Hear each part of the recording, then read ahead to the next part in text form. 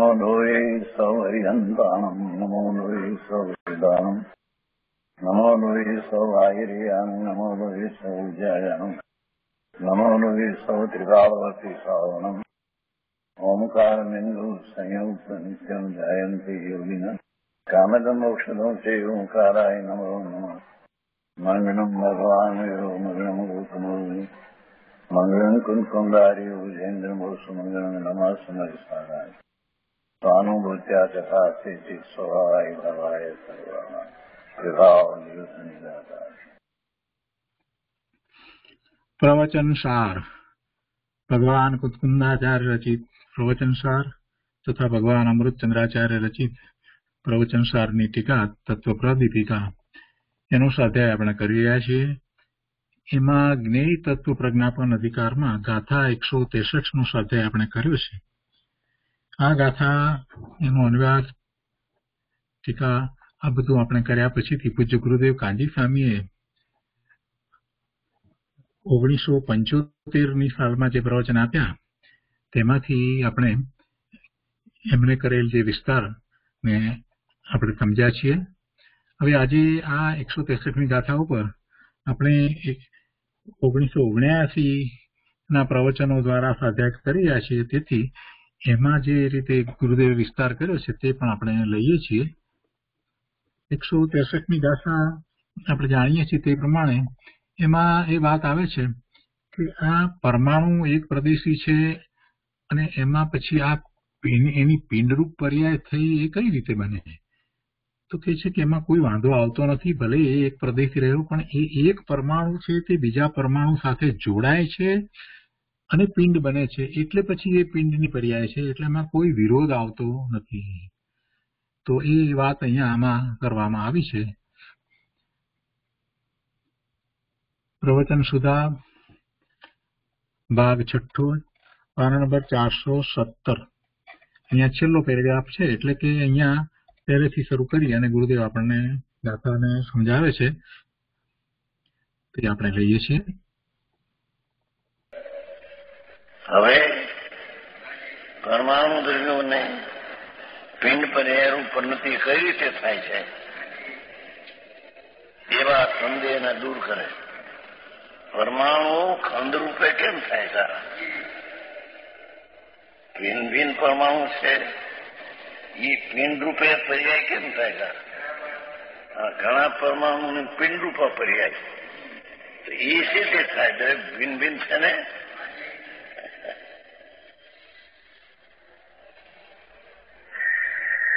અપદેશો પરમાણુ, પ્રદેશ મેતો સ્વયં અસદો, જો નિધો વા દુઃખો વા દુપદેશાદી હું હવની પરમાણુ જે આ પ્રદેશ તેમાં પ્રદેશ માત્ર અશબ્દ છે, તે સ્નિગ્ન વૃક્ષ બની પ્રદેશ વ્યાદી સત્વ અનુભવે. અનુભવે શબ્દ. અનુભવ એટલે થાય. અનુભવ જ્ઞાનનો છે પાઠ છે ને અનુભવાઈ જો દુપદેશાદી અનુભવ એટલે થાય આત્માનો અનુભવ એ તો જ્ઞાન સહિત આનંદનો અનુભવ છે આ અનુભવ એક પરમાણુ બીજા પરમાણુ હારે વિકાસ વિકાસને કારણે પણ થાય એને અનુભવ એમ કહેવામાં આવ્યું. હા ભાષાઓ ફેર.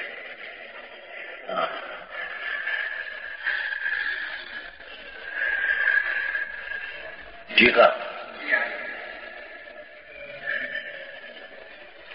ખરેખર પરમાણુ દ્વિઆદિ બે ત્રણ વિઘે પ્રદેશોના અભાવને લીધે.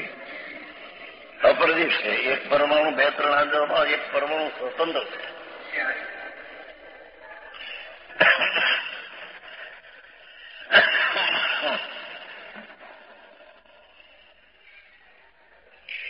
એક પ્રદેશના સદભાવને લીધે પ્રદેશ માત્ર છે પરમાણુ તો એક પ્રદેશ માત્ર છે અને સ્વયં એક પરમાણુ દ્રવ્ય સ્વરૂપ શબ્દ પર્યાયની વ્યક્તિના અસંભવને લીધે અશુદ્ધ છે પરમાણુ પોતે એકલો શબ્દ રૂપે થાય અભાવ છે એક પરમાણુ શબ્દ રૂપે થાય એનો અભાવ હા. ઘણા પરમાણુની પર્યાય ભેગી થાય. શબ્દ રૂપે પર્યાય થાય છે. એક પરમાણુ શબ્દ રૂપે પર્યાય ન થાય. ભાષાથી અનેક પરમાણુની પર્યાય છે. છતાં પિંડ રૂપે થયો, છતાં પરમાણુ પરમાણુ તેમાં સ્વતંત્ર છે. ફક્ત સ્નિગ્ધ વૃક્ષને કારણે એની એકતા દેખાય છે.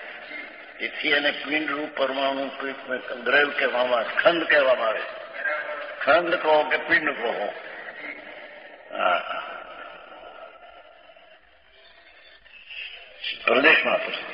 સ્વયં અનેક પરમાણુ દ્રવ્યાત્મક શબ્દ પર્યાયની અવ્યક્તિ શબ્દનું પ્રગટપણું થવાનો અસંભવ એક પરમાણુ શબ્દ થાય તેનો અભાવ છે. એક પરમાણુ શબ્દ રૂપે ન થાય.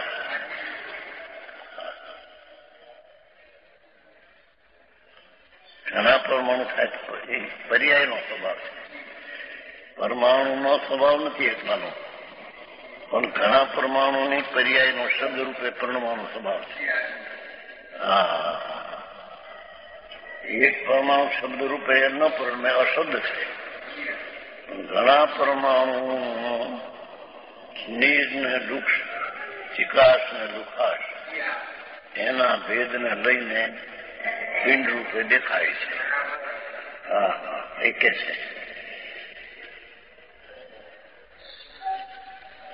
યવસમ જે અસદ છે. એ અવિભાગી અવિરોધ પૂર્વક ચાર સ્પર્શ છે ને પરમાણુ પાંચ રસ આઠ નહીં, એક પરમાણુ આઠ સ્પર્શ નથી. શું કીધું એ ઉદ્યોગમાં આઠ સ્પર્શ છે. ટાઢો ઊનો લોકો ચોપડે પણ એક પરમાણુમાં નહીં. ટાઢો ઊનો લોકો ચોપડ્યો, ભારે હળવો. ભારે હળવો એ નથી, લોકો ચોપડ્યો છે. લોકો ચોપડે પરમાણુમાં છે, પણ ભારે હળવો એ નથી. સ્પર્શનો આઠ ભેદ છે ને? સ્પર્શનો આઠ ભેદ છે. એક જ સ્પર્શ ઇન્દ્રિય છે એમ નહીં એમાં આઠ ભેદ છે. ટાઢો ઊનો રૂખો ચોપડ્યો ભારે હળવો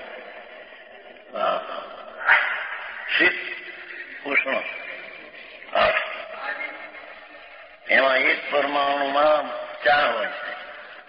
શીત, ઉષ્ણ સ્નિગ્ન રૂખો. ચાર બીજા ન હોય.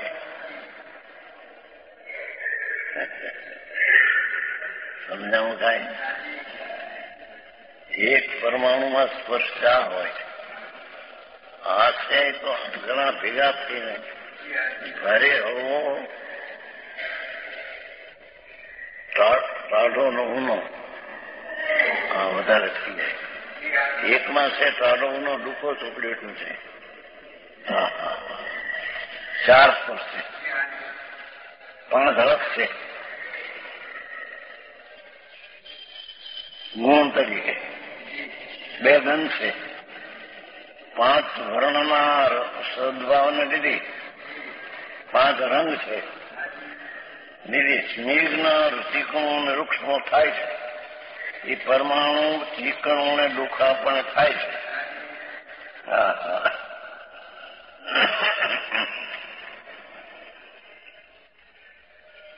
આવું કહેવાનું કારણ શું છે? કે ચિકાશ ને લઈ અને એક પરમાણુમાં બે ગુણ ચિકાશ દુખાશ હોય. બીજા પરમાણુમાં ચાર ગુણ વિકાસ દુખાશ હોય. તો તેનું પિંડ રૂપે થાય.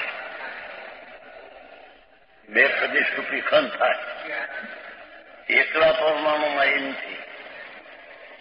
હા. શું થયું? એક પરમાણુમાં ચિકાસ સુકાસ સાધો ઊનો છે. ભારે અણુવાદી નથી. પણ એક પરમાણુમાં ચિકાસ સુકાસ બે ગુણ વિકાસ હોય પર્યાયમાં અને બીજા પરમાણુ ચાર ગુણની વિકાસ વિકાસ હોય વિકાસ તો બે- પરમાણુ ખંડરૂપે થાય. હા હા છતાંય ખંડરૂપે થાય એમાં પોતે સ્વતંત્ર છે. જેની વાત છે. એક પરમાણુમાં અને લુકાશ બે ગુણી હોય, પર્યાય. અને બીજા પરમાણુમાં ચાર ગુણી હોય. તો એ બે થઈને પરમાણુનો ખંડ થાય. છતાં એ પરમાણુ જે ચાર પણ થયો, એ પોતાની સ્વતંત્રતા થયો છે એ ચાર પર્યાય, ચાર ગુણી પર્યાય હતી માટે થયો છે, એમ નથી. શું કીધું એ બહુ ચીર્યું હતું.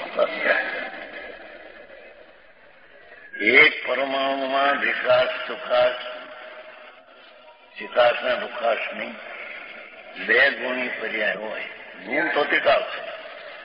પર્યાયમાં બે ગુણી હોય. બીજો પરમાણુમાં ચાર ગુણ વિકાસ સુખાસ હોય તો એ ભેગું થઈને તેને આ પરમાણુમાં ચાર ગુણ વિકાસ કરતા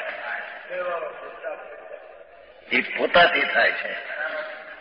એ નિમિત્ત મળ્યું માટે થાય છે, એમ નહીં. એ પ્રશ્ન પણ થઈ ગયો મોટો. ઘણા વખતની પ્રશ્ન સાંભળો.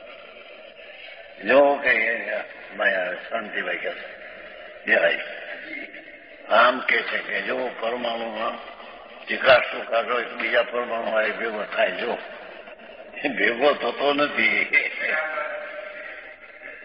પરમા એક દ્રવ્ય બીજા દ્રવ્યની આજે અડતોય નથી. અરે. એક એમ કેવું કે દરેક દરેક પોતાના ગુણ પર્યાયને સ્પર્શે, પણ બીજાને અડે, છૂટે નહીં. મેઘવાનું કેવું કે એક પરમાણુ રૂખા સુખાર બે પર્યાય અને બીજામાં ચાર હોય તે ચાર થઈ જાય. અડતું નથી. થઈ જાય. જેની જરા છે. હા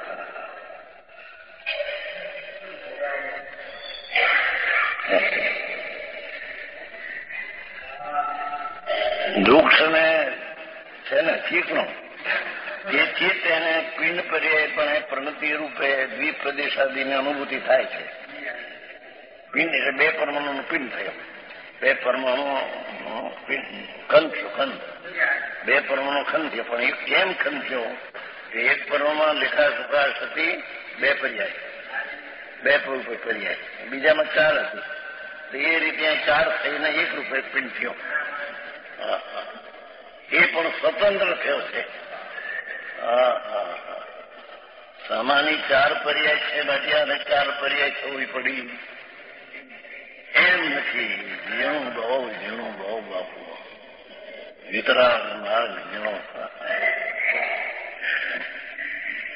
પિંડ પર્યાય પણ પરંતુ દ્વિપ્રદેશપણાની અનુભૂતિ થાય છે. બે પ્રદેશપણે ભાવ થાય છે.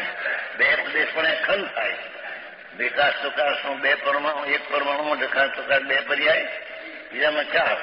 એથી એક બે પરમાણુનો ખંડ રૂપે ભાવ થાય છે. અનુભૂતિ એટલે થાય છે. અનુભવ કઈ જડને હોતો નથી.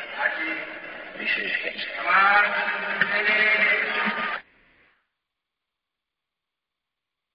તો આપણે એકસો ની ગાથા નો વિસ્તાર પૂરો કર્યો.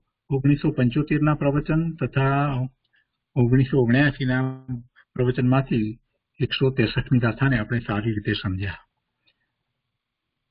હવે આજે આગળ બે ગાથાઓ લઈએ છીએ. ગાથા એકસો ચોસઠ તથા એકસો પાસઠ. તો અહીંયા એકસો ચોસઠમી ગાથાના ઉપોદઘાતમાં કહે છે કે હવે પરમાણુને તે સ્નિગ્ધ વૃક્ષપણું કેવા પ્રકારનું હોય છે તે કહે છે. એટલે જે સ્નિગ્ધ વૃક્ષપણાને કારણે એ સ્કંદ અથવા તો પિંડરૂપ પર્યાય થાય છે, એ કારણ જયારે એકસો ત્રેસઠમાં કહ્યું, તો હવે અહીંયા એ સમજાવે છે કે એ સ્નિગ્ધ અને વૃક્ષપણું કેવા પ્રકારનું છે, એની વાત અહીંયા કરે છે. તો આપણે સંસ્કૃતમાં એ ગાથા લઈએ છીએ. એકોતર એકાદ્યણો સ્નિગ્ધત્વમ વા વૃક્ષત્વમ પરિણામાદ ભણિતમ યાવદન અનંતત્વમ અનુભવતી. ગુજરાતીમાં એકસો ચોસઠમી ગાથા આ રીતે છે. એકાંશથી આરંભી જ્યાં અવિભાગ અંશ અનંત છે, સ્નિગ્ધત્વ વા વૃક્ષત્વ એ પરિણામથી પરમાણુ એકસો ચોસઠમી ગાથાના અન્વયાર્થમાં કહે છે કે અણો પરિણામાવત એકાદી એકોત્તરમ પરમાણુને પરિણામને લીધે એકથી માંડી એક એક વધતા. શું વધે છે? તો કે અવિભાગ પ્રતિછેદ અવિભાગ પ્રતિછેદ આપણે પહેલા સમજ્યા છીએ, ફરી યાદ કરાવું તો, પર્યાયના અવિભાગ પ્રતિછેદ એક સમયની આપણે પર્યાય લઈએ છીએ, પણ એ પર્યાયના પણ જ્યાં સુધી ભાગ કરી શકાય એટલે જેનો ભાગ વિશેષ ન થાય એવો, તો એ અવિભાગ, વિભાગ ન થઈ શકે તેવો પ્રતિછેદ તો એવો એક પ્રતિછેદ બે પ્રતિષેધ, ત્રણ પ્રતિષેધ, એમ અવિભાગ પ્રતિષેધ લીધા છે. એટલે એક અવિભાગ પ્રતિષેધથી માંડીને બે વિભાગ પ્રતિષેધ, ત્રણ વિભાગ ચાર એમ કરતા અનંત સુધી. શું કે છે? કે પરમાણુને પરિણામને લીધે એક અવિભાગ પ્રતિષેધથી માંડી અને એક એક વધતા અનંતપણાને, એટલે કે અનંત વિભાગ પ્રતિષેધપણાને પામે ત્યાં સુધીનું સ્નિગ્ધત્વ અથવા વૃક્ષત્વ હોય છે. એટલે એક અવિભાગ પ્રતિષેધ, સ્નિગ્ધત્વ બે, ત્રણ, ચાર, એમ અનંત અવિભાગ પ્રતિષેધ, સ્નિગ્ધત્વ. એવી જ રીતે વૃક્ષત્વ હોય છે. એમ જીન દેવે કહ્યું છે. ટૂંકમાં કહીએ તો પરમાણુ પરિણમે છે અને એવું એને સ્નિગ્ધત્વ અને વૃક્ષત્વ હોય છે. એ સ્નિગ્ધત્વ અને વૃક્ષત્વ જે છે એ એવું એ પરિણમન છે. એટલે પરિણમનમાં એ સ્નિગ્ધત્વ અને વૃક્ષત્વ છે અને એ સ્નિગ્ધત્વ પણ એક જ સરખું નથી હોતું. એ વાત અહીંયા કરવી છે. એના અવિભાગ પ્રતિછેદ એક થી માંડીને અનંત સુધી એવું સ્નિગ્ધત્વ અને એ જ રીતે વૃક્ષત્વ હોય છે. ટીકામાં આચાર્ય ભગવાન સમજાવે છે કે પ્રથમ તો પરમાણુને પરિણામ હોય છે. પરિણમે છે પરમાણુ. દરેક પરમાણુ એ સ્વતંત્ર દ્રવ્ય છે, પૂતગલ દ્રવ્ય છે અને એક પરમાણુ એ એક આખું દ્રવ્ય છે. એક પરમાણુ એ દ્રવ્ય છે. બીજો પરમાણુ એ બીજું એ પૂતગળ દ્રવ્ય, ત્રીજો પરમાણુ એ ત્રીજું પૂતગળ દ્રવ્ય. એ પૂતગળ દ્રવ્ય પણ કેટલા છે? અનંત અનંત છે. જેમ એક જીવ એવી રીતે બીજો જીવ, ત્રીજો જીવ એવી રીતે એક દરેક પૂતગળ પરમાણુ એ દ્રવ્ય છે. એટલે એ પરમાણુ ની વાત કરતા કહે છે કે પરમાણુને પરિણામન હોય છે. પ્રથમ તો પરમાણુને પરિણામ હોય છે. કારણ કે તે પરિણામ વસ્તુનો સ્વભાવ હોવાથી દ્રવ્યનો એવો સ્વભાવ છે કે પરિણમે છ. છ દ્રવ્ય પરિણમે છે. તો એવો સ્વભાવ હોવાથી ઉલ્લંઘી શકાતો નથી. એટલે પરિણમે. અને તે પરિણામને લીધે જે કદાચ ચિત્તક વિચિત્રતા ધારણ કરે છે એવું કદાચ એટલે કે કોઈ વાર હોય એવું, ક્ષણિક અનિત્ય વિચિત્રતા ધારણ કરે છે. કયા પ્રકારની વિચિત્રતા? તો કે અનેક પ્રકારતા વિવિધતા અનેક રૂપતા. એટલે એમાં શું છે? તો કે ચીકણાપણું અને લુખાપણું. ચીકણાપણું અને લુખાપણું પરિણામને લીધે ક્ષણિક અનેક રૂપતા તરતમતા ધારણ કરે છે. જો અહીંયા ક્ષણિક કેમ લીધું છે કે એ ચિકાસ અને લુખાસ જે છે ને એ એક સરખી દરેક વખતે થાય એમ નથી. એ અપેક્ષાથી વાત લીધી છે. ચીકણાપણું અને લુખાપણું પરિણામને લીધે ક્ષણિક અનેક રૂપતા તરતમતા ધારણ કરે છે. એનું લુખાપણું, ચીકણાપણું અનેક પ્રકારે છે. એટલે અહીંયા અવિભાગ પ્રતિષેધ લઈએ તો આપણને વધારે એ રીતે સમજાય કે એક અવિભાગ પ્રતિષેધથી માંડી અને અનંત અવિભાગ પ્રતિષેધ સુધી એનું એનું સ્નિગ્ધત્વ અથવા તો એવું વૃક્ષત્વ હોય છે. તો એ વાત અહીંયા કહે છે કે કે વિચિત્રતા ધારણ કરે છે એવું એકથી માંડીને એક એક વધતા અનંત અવિભાગ પ્રતિછેદો સુધી વ્યાપનારું સ્નિગ્ધત્વ અથવા વૃક્ષત્વ પરમાણુને હોય છે. આ મૂળ વાત આપણને કહી કે પરમાણુનું પરિણમન છે અને પરમાણુની અંદર આવું સ્નિગ્ધત્વ અને વૃક્ષત્વ હોય છે.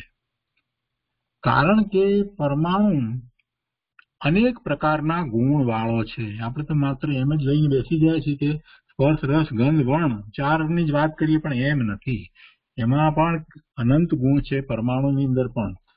કેટલાક ગુણ તો છ છ દ્રવ્યમાં જે સામાન્ય છે એ બધા પણ એમાં છે અને વિશિષ્ટ ગુણો પણ એની અંદર છે. આપણે મૂર્તિકપણાની એક વાત કરીએ છીએ. પણ મૂર્તિકપણા સિવાય બીજી પણ કેટલી બધી વસ્તુ એના કેટલા બધા ગુણ છે. એનામાં સ્નિગ્ધત્વ અને વૃક્ષત્વ એવા ગુણ છે. કહે છે કે કારણ કે પરમાણુ અનેક પ્રકારના ગુણ વાળો છે.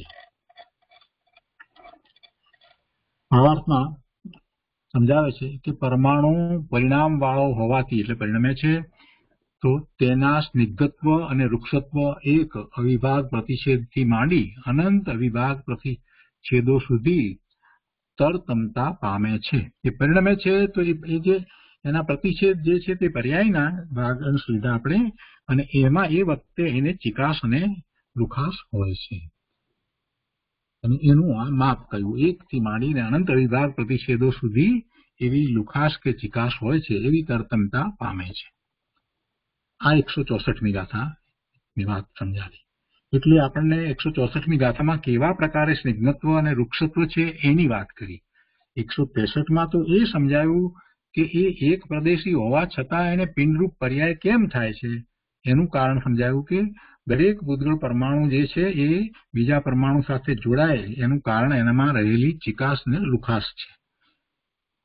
એટલે એ વાત ત્યાં એકસો ત્રેસઠમાં કરી અને પછી એ ચિકાસ, લુખાસ સિગ્નત્વ અને વૃક્ષત્વની જે વાત છે એ કયા પ્રકારે છે એ આ એકસો ચોસઠમાં સમજાયું. અને હવે એકસો પાસઠની અંદર કહે છે કે હવે કેવા સ્નિગ્ધત્વ, વૃક્ષત્વથી પિંડપણું થાય છે? એટલે કે પિંડરૂપ અવસ્થા થવા માટે કેવા પ્રકારે સ્નિગ્ધત્વ અને વૃક્ષત્વ હોવું જોઈએ? કેમ કે પિંડ થાય એટલે એક કરતા વધુ પરમાણુ ભેગા થાય. દરેક પરમાણુ એક દ્રવ્ય છે, સ્વતંત્ર દ્રવ્ય છે.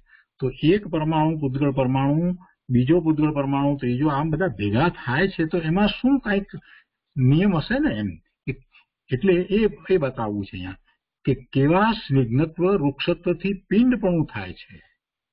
તો એ અહીંયા એકસો ની અંદર બતાવે છે. સિદ્ધત્વ વૃક્ષત્વ તો સમજાયું. પણ હવે એમાં એ પિંડપણું જે થાય છે, તો એ કઈ રીતે થાય છે? એની વાત કરે છે. તો એકસો પાસઠમી ગાથા આપણે લઈએ છીએ. સંસ્કૃતમાં એકસો પાસઠમી ગાથા આ રીતે છે.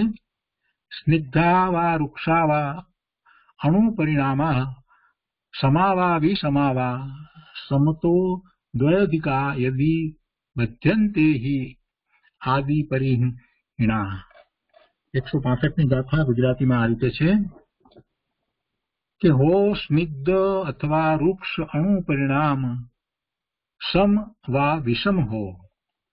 બંધાય જો ગુણ દ્વય અધિક, નહીં બંધ હોય જઘન્યનો. હા, અહીંયા આપણને એ જે સ્કંદ થાય છે, પિંડપણું થાય છે ને એમાં એક એક ઉદ્ગળ પરમાણુ જે રીતે જોડાય છે, તો એનો અહીંયા આપણને નિયમ સમજાયો છે. શું નિયમ સમજાયો છે? હવે આપણે આમાં લઈએ છીએ. પેલા અન્વયાર્થ લઈએ. અણુ પરિણામા સ્નિગ્ધ, સ્નિગ્ધા, વા રૂક્ષા, વા સમા, વા વિષમા, વા. પરમાણુ પરિણામો સ્નિગ્ધ હો કે વૃક્ષ હો?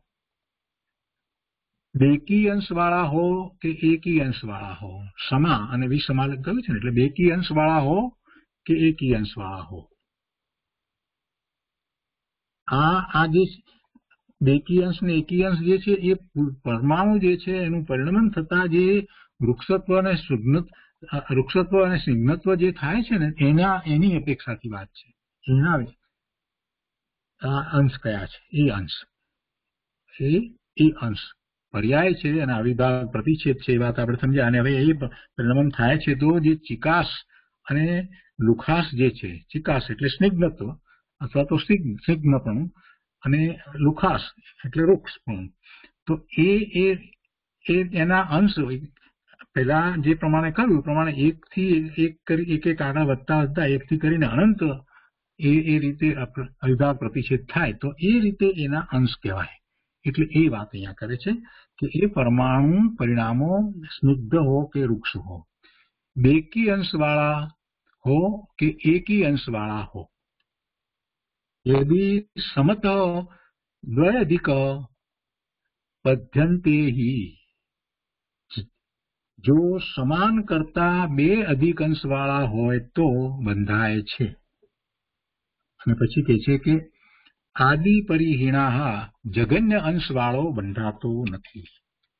ઉત્કળ પરમાણુનું પરિણમન જે છે તે પર્યાયમાં એના અવિભાગ પ્રતિષેધની વાત કરી અને એની અંદર એની ચિકાસ કે લુખાસ જે છે એના અંશ, તો એના અંશ જે છે એ બેકી અંશ હોય અને એકી અંશ હોય, તો એમાં એમ કેવું છે એ બેકી અંશ હોય કે એકી અંશ હોય એ તો વાંધો નથી, પરંતુ એ એના સમાન જે અંશ જે છે, બીજા બીજામાં બે અંશ છે અને આમાં પણ બે અંશ છે, તો એ બે જોડાતા નથી. પણ બે અંશ ચિકાસ છે, એ ચાર અંશ ચિકાસ છે, એની સાથે જોડાય. અથવા તો ચાર અંશ લુખાસ સાથે જોડાઈ શકે. પણ જેની અંદર એક અંશ ચિકાસ છે, એટલે જગન્ય અંશ ચિકાસ વાળો જે છે, એ કોઈ સાથે જોડાઈ શકતો નથી, એ બંધાતો નથી. જો સમાન કરતા બે અધિક અંશ એટલે દાખલા તરીકે સમાન આપણે એમ લઈએ કે આઠ સમાન છે, તો એ આઠ છે તો બીજા આઠ સાથે નહીં જોડાય. પણ એના કરતા બે દસ, બે અધિક અંશ છે, તો દસ અંશ છે એની સાથે એ જોડાશે. દાખલા તરીકે આપણે છ અંશ ચિકાસ લઈએ તો એ છ અંશ ચિકાસ છે, આઠ અંશ ચિકાસ સાથે જોડાશે, દસ અંશ છે તે બાર અંશ ચિકાસ સાથે જોડાશે. તો એમ સમાન કરતા બે અધિક અંશ વાળા હોય તો તે બંધાય છે. એટલે એ એનો સ્કંદ બને છે. એનો સ્કંદ બને છે. પણ જગન્ય અંશ બંધાતો નથી. જેને એક અંશ ચિકાસ કે લિખાસ છે, એ કોઈ સાથે જોડાતો નથી. એક અંશ જોડાઈ શકતો નથી.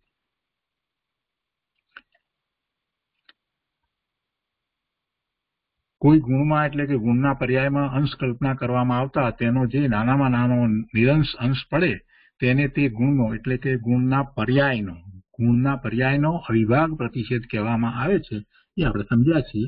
અને પછી અહીંયા જે ચિકાસના અંશ વધારે ઓછા જે છે, એને ઉદાહરણથી સમજાવ્યું છે ફૂટનોટમાં કે બકરી કરતા ગાયના દૂધમાં, બકરીના દૂધ કરતા ગાયના દૂધમાં અને ગાયના દૂધ કરતા ભેંસના દૂધમાં ચિકાસના અવિભાગ પ્રતિષેધો વધારે હોય છે. એવી જ રીતે લુખાસને માટે ઉદાહરણ આપીને કહે છે કે ધૂળ કરતા રાખમાં અને રાખ કરતા રેતીમાં લુખાપણાના અવિભાગ પ્રતિષેધો અધિક હોય છે. એ રીતે, એ સમજાવ્યું છે. તો આપણે આગળ લઈએ અહીંયા. આની વાર પછીથી આ એકસો પાસઠની ગાથાની ટીકા જે છે, એમાં આચાર્ય ભગવાન કહે છે કે સમાન કરતા બે ગુણ અધિક સ્નિગ્ધત્વ. જો બે ગુણ એટલે પેલા આપણે જે દ્રવ્યના ગુણ એની વાત નથી. આ બે ગુણ એટલે એ બે અંશ અધિક સ્નિગ્ધત્વ. બે માપ વધારે સ્નિગ્ધત્વ. બે અહીંયા ગુણ કયો છે? એટલે એ અંશ લેવાનો છે. ગુણ એટલે અંશ, અવિભાગ પ્રતિષેધ અવિભાગ પ્રતિષેધ જે આપણે કયા તે, તો એ બે અંશ, અધિક સ્નિગ્ધત્વ કે અધિક વૃક્ષત્વ હોય તો બંધ થાય. અને આ જે છે એ સામાન્ય નિયમ છે, એટલે કે એ ઉત્સર્ગ છે. સામાન્ય છે તે ઉત્સર્ગ કહેવાય. અને સામાન્ય ન હોય ને કોઈ અપવાદ હોય પણ અહીંયા આ સામાન્ય નિયમ છે એટલે એને કહે છે કે જે તે ઉત્સર્ગ સામાન્ય નિયમ છે.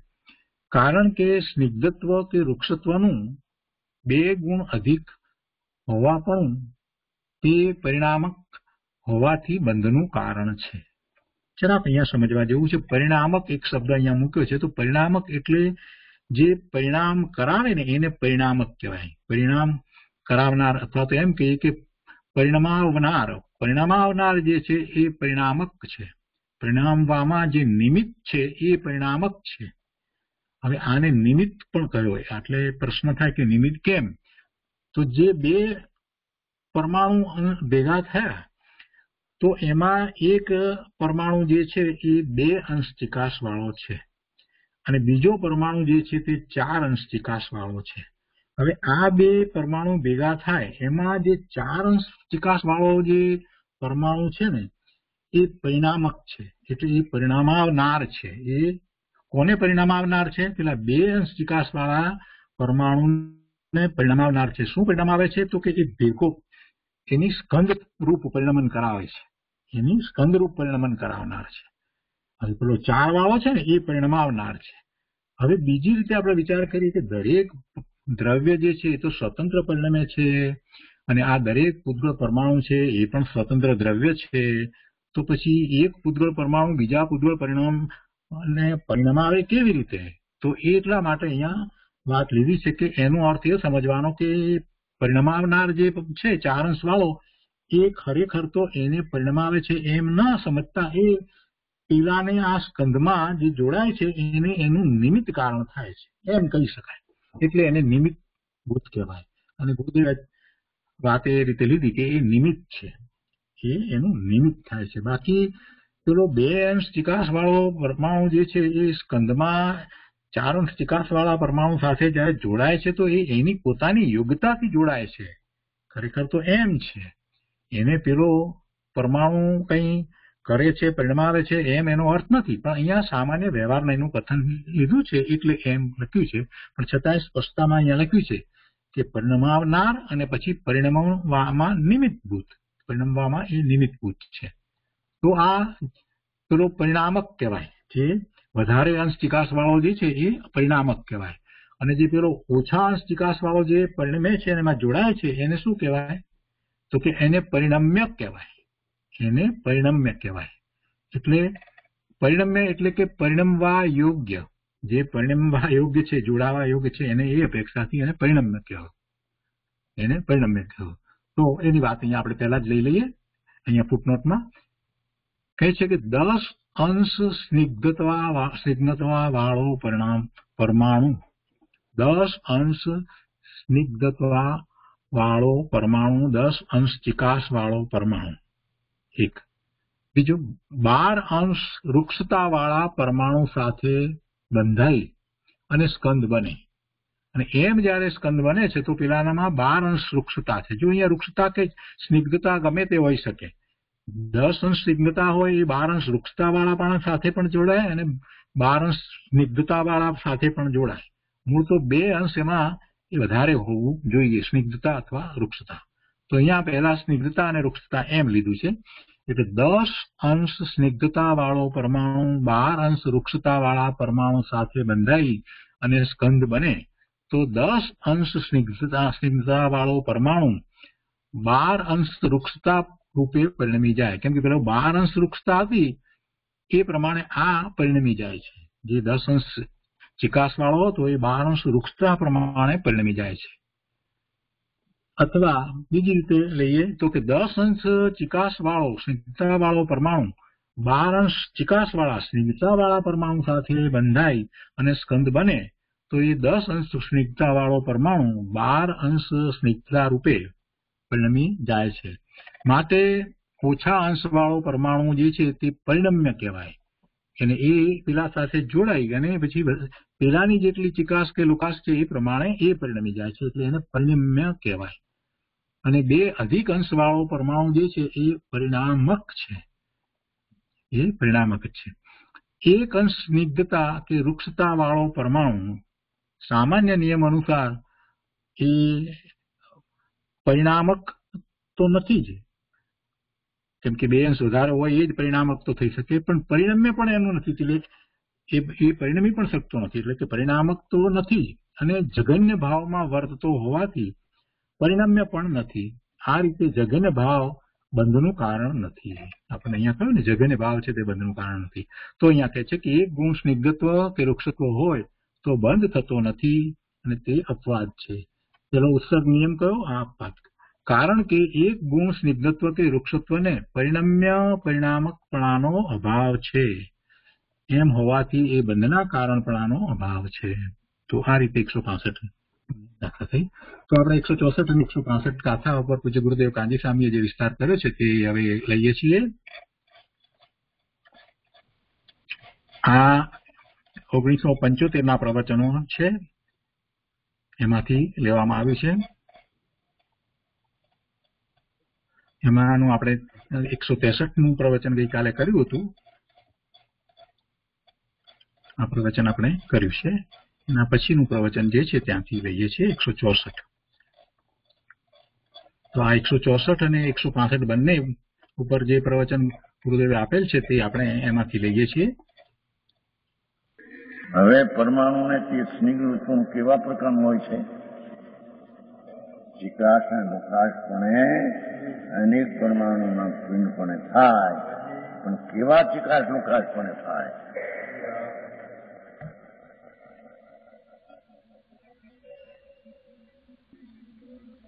બોલું શું છે જળ અજા ગો મહીશ ખીર સંસ્કૃત ટીકામાં છે ને જળ અજા અજા બકરી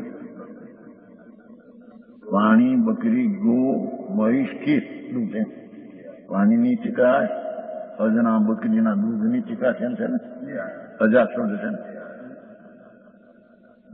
ગાયના દૂધની અને ભેંસના દૂધ.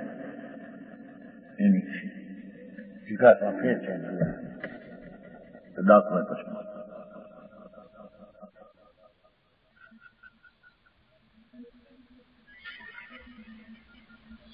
યેગૂતરમ યગાદિ અણુસર નિધતણમ ચ લુખતમ.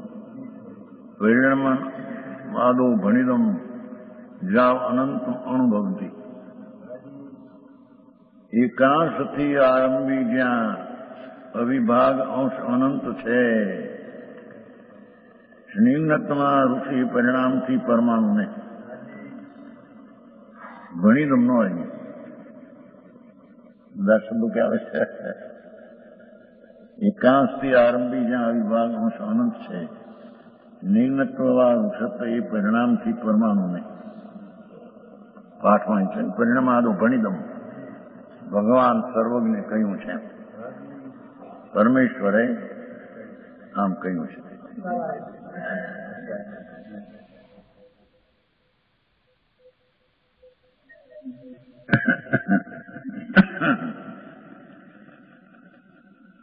એની આ શું કહેવાય છે? કે ઘણા કણો પિંડપણે થાય છે એનું કારણ શું? આત્મા કારણ નહીં. આત્મા એનો કરતા નહીં. ત્યારે ઘણા રજકણો પિંડપણે શરીરપણે વાણીપણે થાય એનું કારણ કોણ? આત્મા તો કરી નાખ્યો આત્મા કારણ નહીં. આત્મા એનો કરતા નહીં. કારણ કે એમાં એનો અભાવ છે. હવે એનામાં ભાવ જે છે ચિકાસ લુકાસનો કયા પ્રકારના ચિકાસ વિકાસને લઈને પિંડ રૂપે પર્યાય થાય કંદની એમ કે છે. ચિકાસ વિકાસથી થાય, પણ કયા પ્રકારની ચિકાસ વિકાસથી થાય, એ અહીંયા વર્ણવવામાં આવે પ્રથમ તો પરમાણુને પરિણામ હોય છે. પરમાણુને પર્યાય હોય છે, પણ પરિણામ, નિત્ય પરિણામ, નિત્ય પરિણામી નિત્ય પરિણામી. કાયમ રહી અને પરિણામ પરમે છે પરમાણુ જ્ઞાન નથી ને, એ જ્ઞાનનું અંકન છે. એનો સ્વભાવ જ જ્યાં ઉત્પાદ હોય ધ્રુવ છે. પરમે છે. જળ જળ ભાવે પરમે છે. પરમાણુને પરિણામ હોય છે. જેમ જીવને શુભ શુભ ને શુભ પરિણામ હોય છે, એમ પરમાણુને પરિણામ હોય છે. પર્યાય હોય છે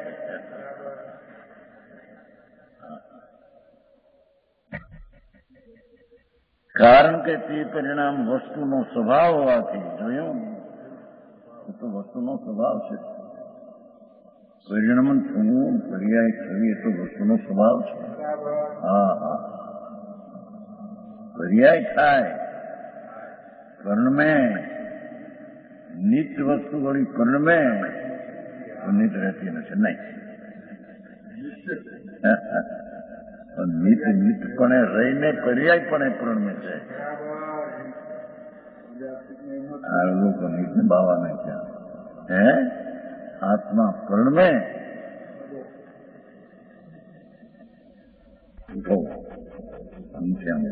બે હજાર સામે. રાત બાવો એક જાતની સાથે છે જાતને જ વાત. હાલો ભાઈ. ત્યાં આવ્યા છે. કે આત્માને પરિણમન છે રાજદેશ પરિણમે છે.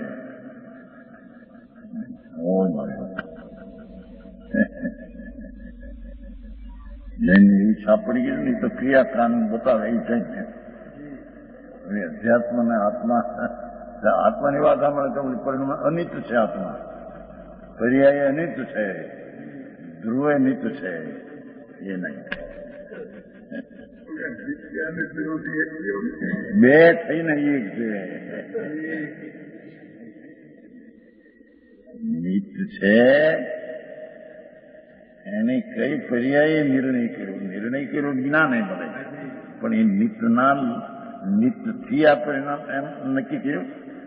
એનું પરિણમન છે એનાથી આ પરિણમન દ્રવ્યનું છે એનાથી નક્કી કર્યું.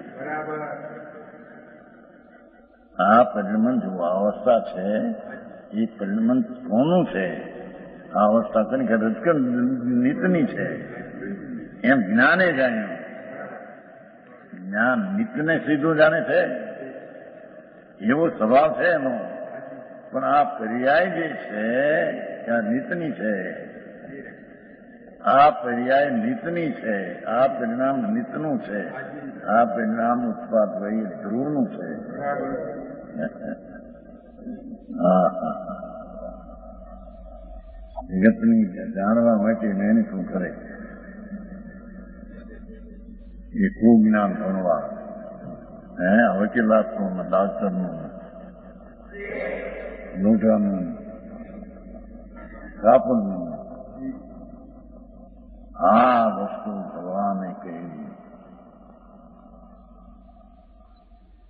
એના જ્ઞાન કરવા જાય તો એને શાંતિ થાય. જગતની જડની પર્યાય, એને કારણે પ્રણવાનો સ્વભાવ છે, થાય એમાં.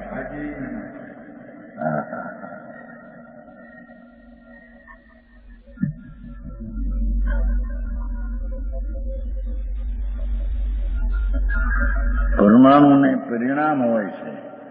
લે. આત્માને પણ પરિણામ હોય છે. આત્મા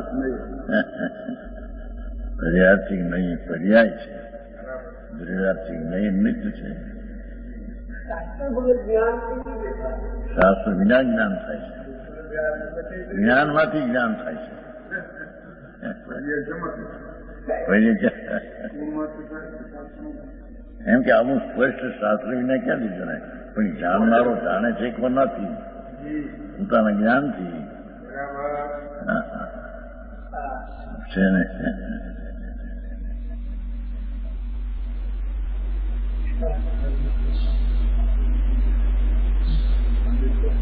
જેમ કે પરિણામ વસ્તુનો સ્વભાવ હોવાથી ઓળંગી શકાતો નથી. હા હા.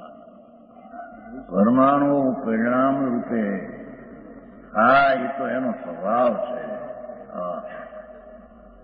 કેવા પરિણામ રૂપે થાય એની વાત કરશે પિંડ રૂપે પરિણામ થાય, ત્યારે કેવા પરિણામ હોય, વિકાસનું કાશમાં જેથી પિંડ રૂપે થાય, એટલી વાત કરવા માટે પરિણામ સિદ્ધ કર્યું.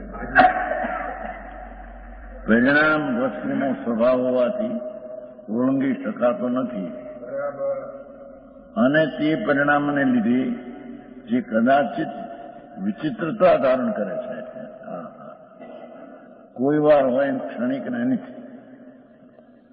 અનેક. પ્રકારના વિવિધતા, અનેક રૂપતા. ચીકણાપણું લુકાપણું પરિણામને લીધે ક્ષણિક, અનેક રૂપતા તરતમતા ધારણ કરે પરિણામ હોવા છતાં કોઈ વખતે ચિકાસની અનંતગુણી ચિકાસ થાય. લુખરાશની અનંતગુણી લુખરાશ થાય.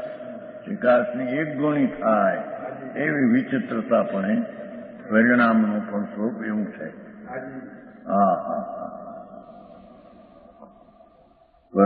છે છતાં તે એક રૂપે નહીં અનેક રૂપે. એક ગુણ લુખો બે ગુણ લુખો અનંત ગુણ લુખો. વિચિત્રતા કીધી ને જોઈ વિચિત્રતા. છે, ક્ષણિક પર્યાય પણ એ પર્યાયમાં પણ વિચિત્રતા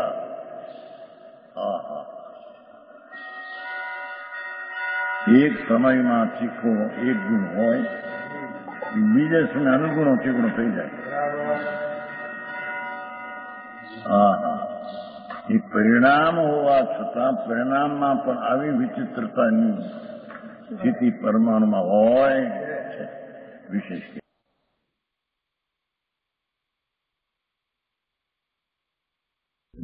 વિચિત્રતા ધારણ કરે છે. ક્યાં સુધી આવ્યું કરીને પ્રથમ તો પરમાણુને રજકણ છે એક એક. એમાં પરિણામ હોય છે. કારણ કે તે પરિણામ વસ્તુનો સ્વભાવ. બદલવું પરણવું રૂપાંતર થવું એવો એનો સ્વભાવ છે એ ઊંઘી શકાતો નથી એનો સ્વભાવ પરિણામ જે છે એ ઊંઘી શકાતું નથી અને તે પરિણામને લીધે જે કદાચિત કોઈ કાળે વિચિત્રતા ધારણ કરે એવું શું વિચિત્રતા એકથી માંડીને એક એક વત્તા અનંત વિભાગ પ્રતિ છેડું સુધી વ્યાપનારું વૃક્ષ પરમાણુ હોય. એક એક પરમાણુમાં એક પરિણામમાં પરિણામ એટલે પર્યાય. એમાં અનંત અવિભાગ પ્રતિછેદ હોય છે. એટલે ચિકાશ લુકાશ ની પર્યાય અનંત ગુણી થાય, નિર્ગુણ છે, એવો એનો સ્વભાવ છે. જાણવાની વાત છે ભાઈ. એક એક વત્તા અનંત અવિભાગ પ્રતિછેદની વાત છે. એક સમયની પર્યાયમાં એક ગુણી લુખાટ કે ચિકાશ એમ બે ગુણી ત્રણ ગુણી અનંત ગુણી ચિકાશ લુખાટ થાય છે. એક પર્યાયના એવા અવિભાગ પ્રતિછેદ એટલે કે જેના અંશના ભાગ ન પડે, એવા અવિભાગ અંશો અનંતા હોય છે. એ જાણવાની વાત છે. વિશે આ કાલથી આવશે બાબુભાઈ આવશે એ ખૂબ મોટી લક્ષ્મી છે. અથવા આ ફોન છે ને એ ખૂબ મોટી આવે છે. કાંઈ અનંત અવિભાગ, જેનો ભાગ ન થઈ શકે. એવા પ્રતિછેદ ભાગ પાડતા પાડતા પાડતા પાડતા છેલ્લો અંશ રહે એને અવિભાગ પ્રતિછેદ એવા અનંત અવિભાગ પ્રતિછેદ રૂપે એક એક પરમાણુ સ્નિગ્ન અને વૃક્ષપણે થાય છે. કારણ કે પરમાણુ અનેક પ્રકારના ગુણ વાવો છે. ગુણ એટલે પર્યાય વાવો. ગુણ શબ્દ અહીંયા પર્યાયનો પ્રતિક છે એને લેવા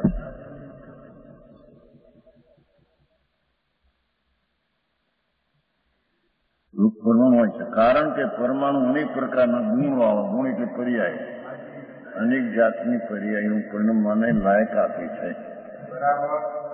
પરમાણુ ભાવા પરિણામ વાળા હોવાથી તેના સ્નિગ્ધત્વ અને વૃક્ષત્વ એક અવિભાગ પ્રતિછેદથી માંડી, એક એક અંશથી માંડી, અનંત અવિભાગ પ્રતિછેદો સુધી કરમતા સતમતા સર્તમ હિનાધિકતા થાય છે. પરમાણુનો એવો સ્વભાવ છે કે સતત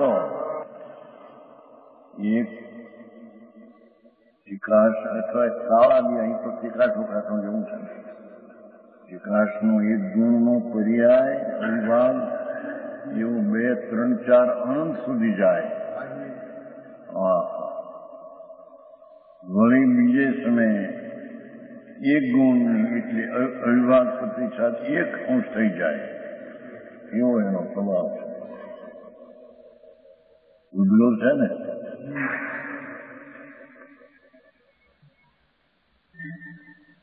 અનંત વિભાગ પ્રતિ સુધી પ્રથમતા પામે છે. પાસઠ. એવા સ્નેહ વૃક્ષથી દ્વિપિંડપણું થાય છે તે કહે છે. નિધાવા ઉઠાવા અણુ પરિણામા, સમાવો વિસમાવા સમદો દુરાધિકા જદી, ભજંતી આદિ પરિહણા હો સ્નિગ્ન અથવા વૃક્ષ અણુ પરિણામ સમવા વિષમ હો બંધાય જો દ્વય અધિક નહીં, બંધ હોય જગન્મ નીચે છે જે અવિભાગ પ્રતિશત કેવું છે ને? એનું કોઈ ગુણમાં એટલે કોઈ ગુણના પર્યાયમાં. એટલે કે પર્યાયના અંશ કલ્પના કરવામાં આવતા, પર્યાયમાં અંશ કલ્પના કરવામાં આવતા.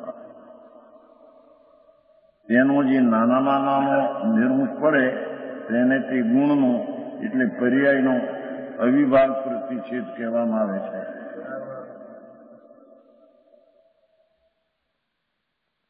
શું કીધું પરમાણુનો પર્યાય છે, ગુણ એટલે પર્યાય. એ પર્યાયનો નાનામાં નાનો અંશ, એ ગુણ એ અવિભાગ પ્રતિષેધ કહેવામાં આવે છે.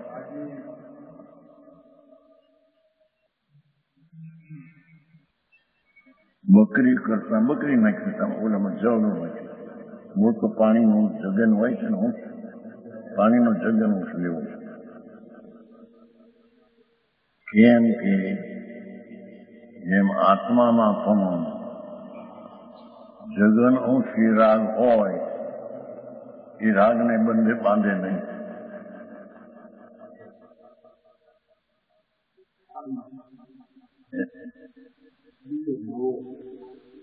એ રાગ બીજાને ભલે બાંધવાનું કામ થાય પણ જગન અંશ રાગને ન બાંધે શું કીધું સમજાણું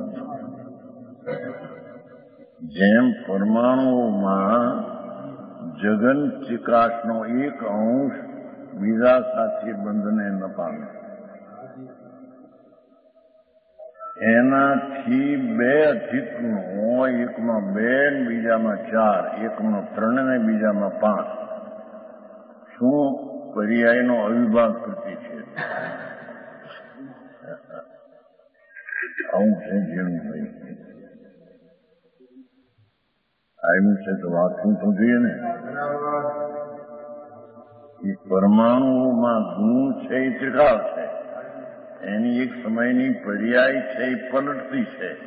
એ પર્યાયમાં અનંત ભાગ પડે છે. કોઈ પર્યાય એક અંશપણે ચિકાશ કોઈ પર્યાય અનંત ગુણિતપણે ચિકાશ એવા અવિભાગ પ્રતિછેદ પર્યાયનો એક અંશ તેને અવિભાગ, એના પછી ભાગ ન પડે માટે અંશ અવિભાગ પ્રતિછેદ પ્રતિછેદતા છેદતા ભાગ ન પડે, એને પ્રતિછેદ કહે છે. અવિભાગ પ્રતિછેદ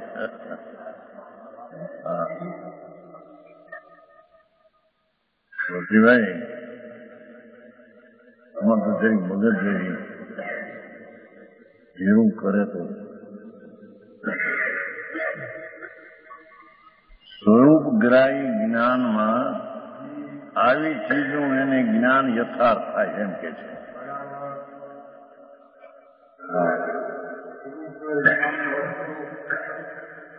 જેણે સ્વરૂપને જાણ્યું છે, ચિદાનંદ જ્ઞાનાનંદ શુદ્ધ ચૈતન સ્વરૂપ. એવું જ્યાં જ્ઞાન, એની દ્રષ્ટિ, શ્રદ્ધા થઈ છે, તે જ્ઞાનમાં પર વસ્તુનું આ રૂપે સ્વરૂપ છે, એ રીતે તે જ્ઞાન જાણે છે.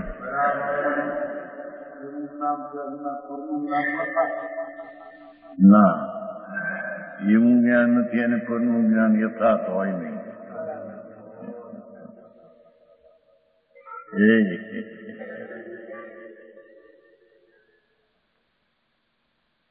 કારણ કે પોતે સ્વ કોણ છે એનું જ્યાં જ્ઞાન નથી એને પર પ્રકાશક એનો સ્વભાવ. પરનું એને જ્ઞાન સાચું હોઈ શકે નહીં. ધારીલી ધારણામાં.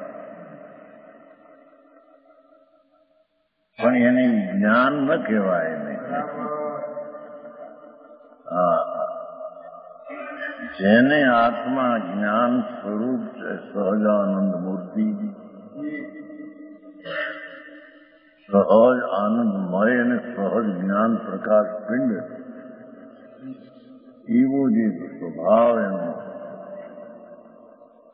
એનું જેને પર્યાયમાં સ્વસન્મુખ થઈને એની જાતને જેણે જાણી છે, તેને તે જ્ઞાનમાં આવા પરમાણુઓમાં આ રીતે હોય છે.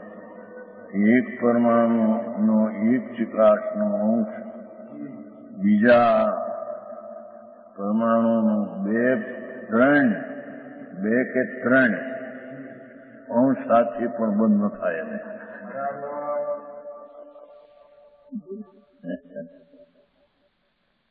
સમજાવું કાંઈ જેમ ભગવાન આત્મામાં વેદનો છેલ્લો અંશ હોય ન બાંધે એમ રાગનો છેલ્લો અંશ હોય એ રાગને ન બાંધે એમ દ્વેષનો છેલ્લો અંશ હોય દ્વેષને ન બાંધે એમ પરમાણુનો એક અંશ હોય અને બીજામાં એક અંશ કે બે અંશ કે ત્રણ અંશ હોય. છતાં તેની સાથે બંધ ન થાય એને હા એક પરમાણુમાં બે અંશ ચિકાશ ઉકાશ હોય, બીજામાં ચાર હોય તો બંધ થાય. એકમાં ત્રણ હોય ને બીજામાં પાંચ હોય તો એનો બંધ થાય. પણ એકમાં ચાર હોય ને બીજામાં છ હોય તો બંધ થાય. પણ સાત હોય ને આઠ એને બંધ ન થાય.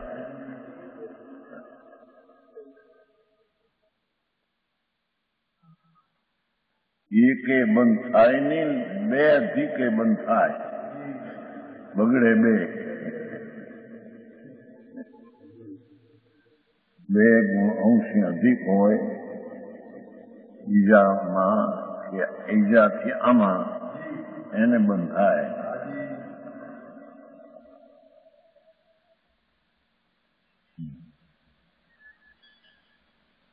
સ્નિગ્ન અથવા વૃક્ષ અણુપરિણામ સમવા વિષમ હો બંધાય જો ગુણ દ્વય અધિક નહીં બંધ હોય જગનનો આમાં કહ્યું ગાયના દૂધને દાખલા લુખામાં રાખ કરતા રેતી ધૂળ કરતા રાખ અને રાખ કરતા રેતીમાં લુખાપણું એ લુખાસના અંશમાં ફેર છે ને ટીકા સમાન કરતા બે ગુણ અધિક. ગુણ શબ્દ અંશ લેવું નીચે છે. અવિભાગ પ્રતિછેદ લેવું એ સ્નિગ્નત કે વૃક્ષક હોય તો બંધ થાય છે. એ ઉત્સર્ગ સામાન્ય એટલે ખરેખર એ નિયમ છે એમ. કારણ કે સ્નિગ્નત્વ અને વૃક્ષત્વનું બે ગુણ અધિક હોવા પણ તે પરિણામિક હોવાથી બંધનું કારણ છે. પરિણમાવનાર પરિણામ છે ને બગડું પરિણમવામાં નિમિત્ત ભૂત બંધનું કારણ છે. એ ગૌણ સિંહ કે વૃક્ષકો હોય તો બંધ થતો નથી. એ અપવાદ છે. સામાન ઉત્તર નિયમ કીધો. કારણ કે એક ગુણ સ્નિગ્ધત્વ ગુણ શબ્દ વિભાગ પ્રતિ છે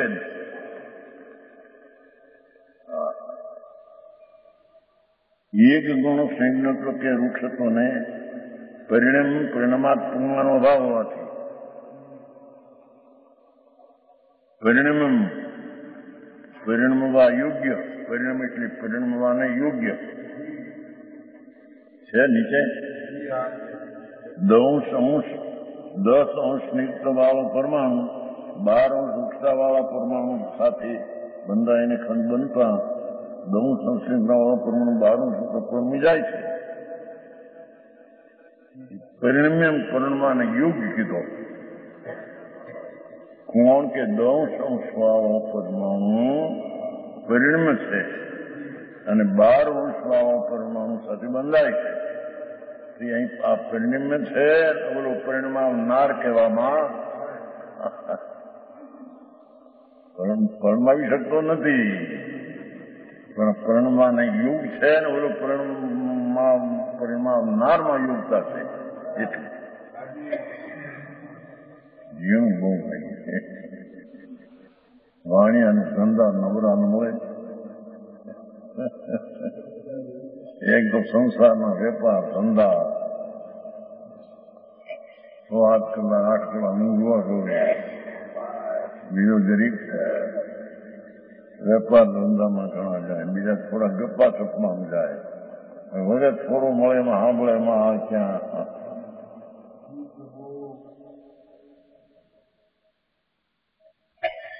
ધ્યાન રાખે તો કલાકમાં બે એમ છે. એમ નથી કે ન બે. એ જેવી છે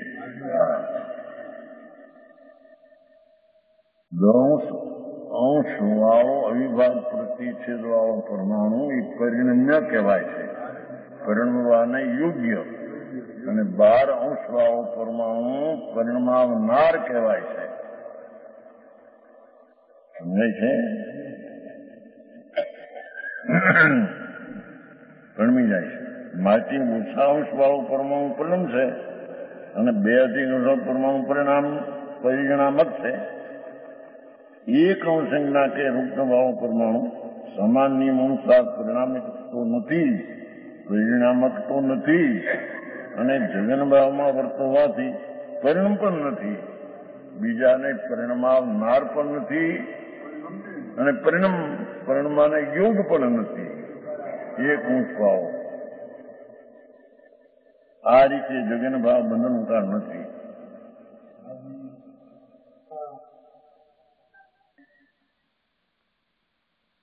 એક ગુણ સ્નિગ્નત્વ વૃક્ષ થતો હોય તો બંધ થતો નથી. એ પાછ કારણ કે એક ગુણ સ્નિગ્નત્વ કે વૃક્ષત્વને પરિણામ પરિણામાત્માનો અભાવ. પરિણામ એટલે એક ગુણ વાવ પરિણમવાને યોગ્ય અને એક ગુણ વાવ બીજાને પરિણામનારો એવી એક ગુણ ચિકાસમાં લાયકાત છે. બંધના કારણ પણ આનો ભાવ છે.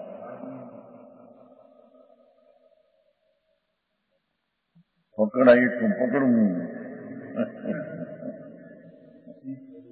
આપણે જીનેન્દ્ર ગણિતમ કહ્યું છે ને?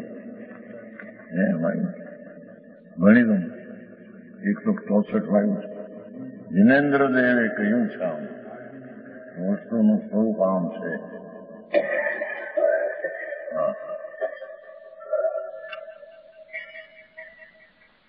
આમ કહેવાનું કારણ કે પરમાણુ આદિ જે ખંડ રૂપે થાય છે એમાં આત્માનો કઈ અધિકાર નથી પરમાણુઓ ખંડ બેથી અનંત પરમાણુમાં સૂક્ષ્મપણે કે સ્થૂળપણે બંધ થાય છે એમાં આત્માનો અધિકાર કેમ કે એનામાં એ જાતની લાયકાતથી બીજા રત્કનો સાથે પરિણમવાની યોગ્યતા વાવો પરિણમે છે અને પરણમાવનાર તરીકે પોતે હોય અને બીજો પરિણમ હોય તો એની યુગતાથી તે પ્રણમાવનાર પરિણમની રૂપતા હારી બંધાય છે. આત્મા એને જેમ કે આ લાડવો વાળો આ રોટલી, ચિકાસમાં ભેગી કરવી એ આત્મા કરી શકતો એમ કે છે.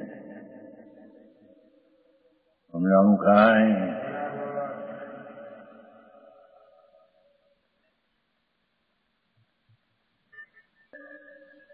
એક કાગળને ડુંગર નાખીને બીજો કાગળ તોડવો આત્મા કરી શકતો નથી એમ કે છે.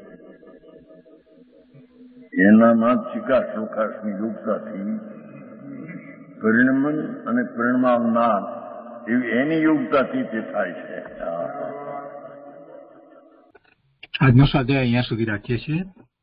આ રીતે એકસો ચોસઠ, એકસો પાસઠ ગાથાનો વિસ્તાર પૂરો થયો.